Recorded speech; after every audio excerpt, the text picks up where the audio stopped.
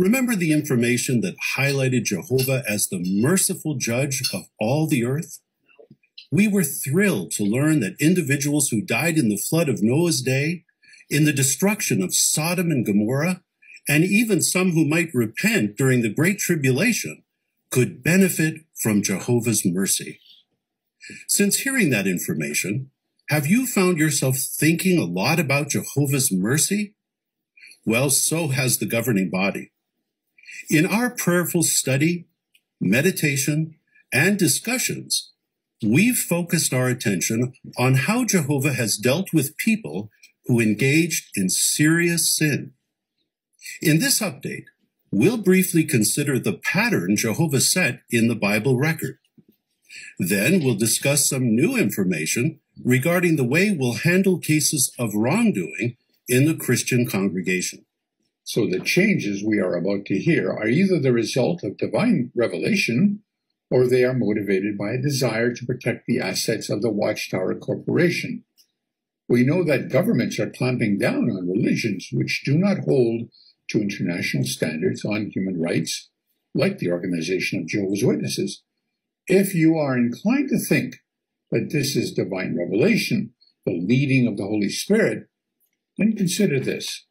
Mark Sanderson and his fellow GB members claim to belong to a group of men who make up the faithful and discreet slave, which they believe Jesus appointed in 1919. They also claim to be the channel by which Jehovah God communicates with his people today. That means for the past 105 years, again according to their claim, they have been directed by Holy Spirit from Jehovah God to feed the flock Bible truth. Got it? And with all that study and all that time and all that guidance from God's Holy Spirit, these men are only now figuring out some, how did he put it, new information on handling wrongdoing in the Christian congregation. This information isn't new. It was written down for the world to read some 2,000 years ago. Nor is it hidden, sealed way away for a few to decipher. I figured it out. No, I'm not bragging. That's the point. I and many others like me were able to understand how to deal with wrongdoing in the congregation by simply reading the Bible, free from any doctrinal or religious bias. Just pray for Holy Spirit, clear your mind of preconceptions and the interpretations of men, and let the Word of God speak for itself. It doesn't even take that long, certainly not 105 years.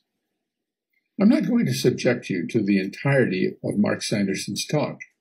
He next goes on to give the examples of God's mercy toward those who are sinning. Mark makes it clear that our Heavenly Father desires all to repent.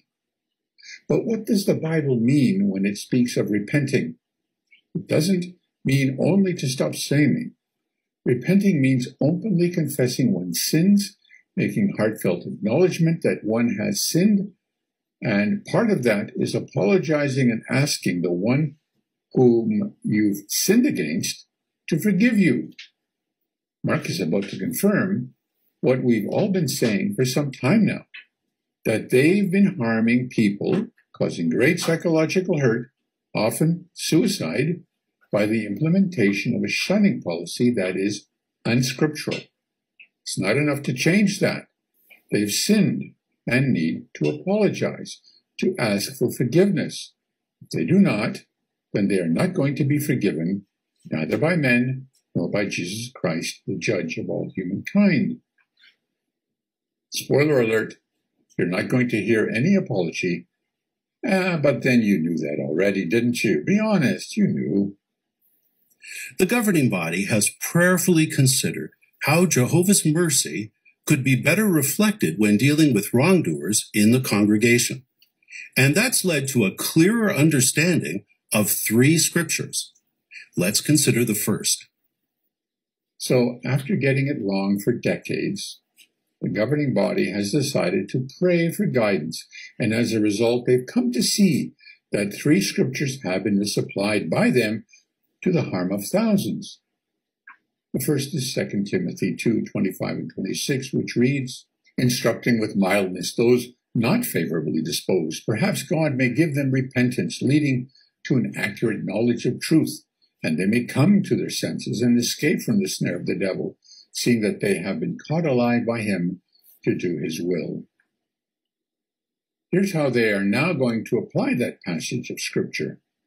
How does a clearer understanding of 2 Timothy 2 24 and 25 adjust our current arrangement? Presently, a committee of elders normally meets with a wrongdoer only one time. However, the governing body has decided that the committee may decide to meet with the person more than once. Why? At Revelation 2:21, regarding that woman Jezebel, Jesus said, I gave her time to repent. We hope that through the loving efforts of the elders, Jehovah will help a wayward Christian to come back to his proper senses and repent. How nice. His words are dripping with honey. Loving elders working hard to restore the sinner to repentance. Before, they only met with the sinner one time. Their goal was to establish two things. One, had a sin been committed? And two, was the sinner repentant? As an elder for 40 years, I knew that we were discouraged from meeting with the sinner more than once. I remember doing so and being chastised by the circuit overseer for it, because the goal was only to ter- determine if they had sinned and were repentant all on their own.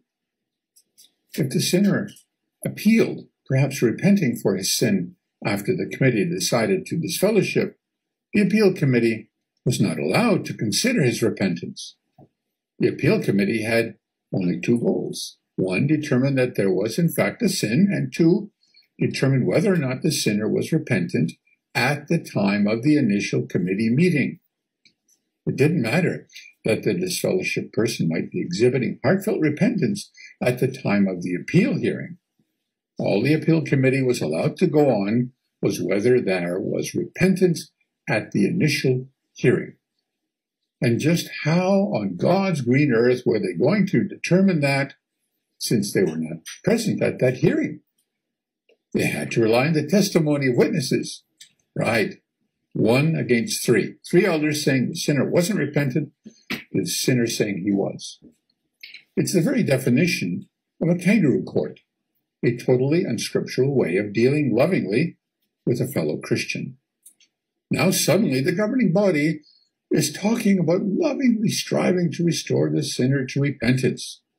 This they have realized through prayerful meditation. Give me a break. Where was their prayerful meditation for the last 60 years? Oh, and they are only now realizing the significance of Jesus' forbearance concerning the woman Jezebel and the congregation of Thyatira? Some Bible scholarship they are exhibiting. What about baptized minors, those under 18 years of age, who engage in serious wrongdoing?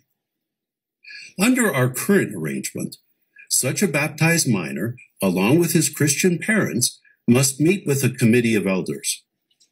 Under our new arrangement, two elders will meet with the minor and his Christian parents. Reportedly, dealing with baptized minors is very troublesome for them. The problem they face is that a minor getting baptized is not informed of the ramifications of baptism. He or she does not realize that should they choose to leave the religion a few years later, they will be shunned by family and friends, even their parents. There is no informed consent. This is a serious legal matter and a violation of human rights. These changes, I believe, are just the first steps the organization must take to protect its assets from further losses. They cannot afford to lose their charitable status in one country after another. So, there will likely be new light down the road, further clarifying how minors are to be treated.